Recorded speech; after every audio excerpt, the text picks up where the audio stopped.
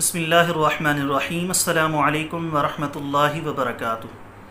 दोस्तों, उम्मीद करता हूँ आप सारे खैरियत से होंगे। मैं मोहम्मद इस्माइल आपको अपने चैनल के अंदर खुश आमदीद कहता हूँ।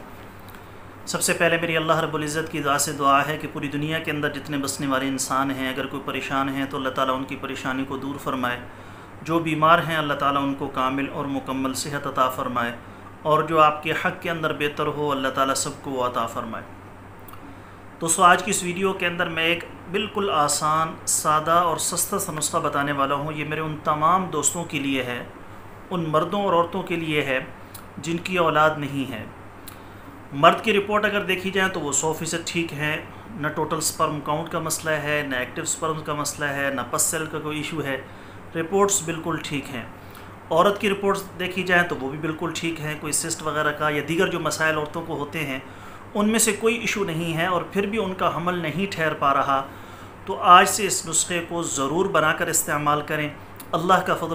करम हुआ तो इन ताला अल्लाह रब्ज़त की ज़ात अपना ज़रूर फ़ज़ल और करम फरमाएँगे। बहुत सारे लोगों को दीगर दवाओं के साथ मैंने ये नुस्खा भी दिया।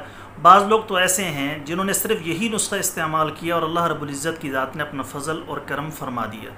तो मैं उन सारे दोस्तों से गुजारिश करना चाहता हूँ, उन तमाम मर्दों, औरतों से गुजारिश करना चाहता हूँ, जिनकी रिपोर्ट्स वगैरह ठीक हैं, न मर्द के अंदर कोई मसला है, न औरत के अंदर कोई मसला है तो मर्द, औरत दोनों इस नुस्खे को रोज़ाना सुबह खाली पेट इस्तेमाल करें।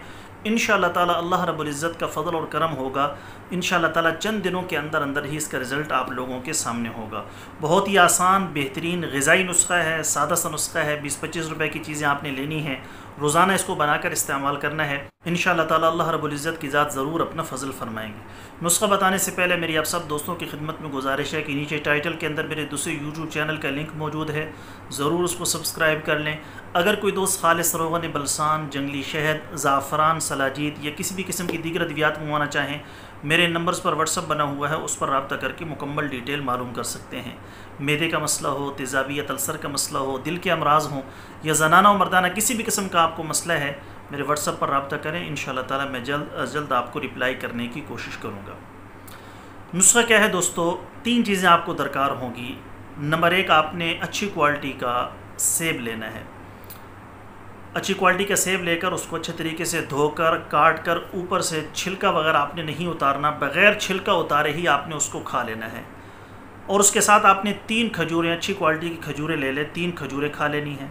और ऊपर से आपने नीम गर्म दूध पी लेना है। ठंडा दूध भी ना हो और बहुत ज़्यादा गर्म भी ना हो, नीम गर्म दूध आपने ऊपर से पी लेना है।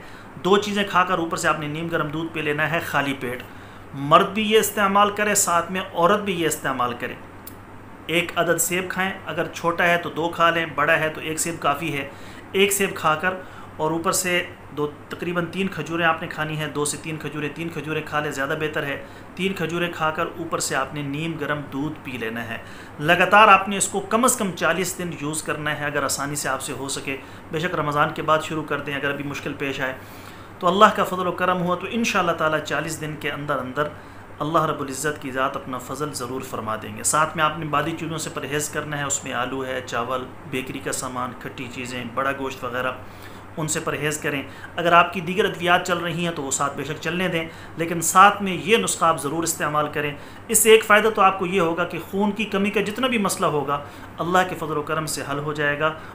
और अल्लाह रब्ज़त की ज़ात इन ताला हमल भी इससे करार पाएगा। अल्लाह ताला इन ज़रूर फजल फरमाएँगे।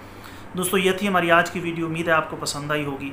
पसंद आए तो लाइक शेयर ज़रूर करें। चैनल को सब्सक्राइब करें। कल एक नई वीडियो के साथ मैं आपकी खिदमत में हाजिर हूँगा इजाज़त दीजिए। शुक्रिया। असलकम वरहमल वर्का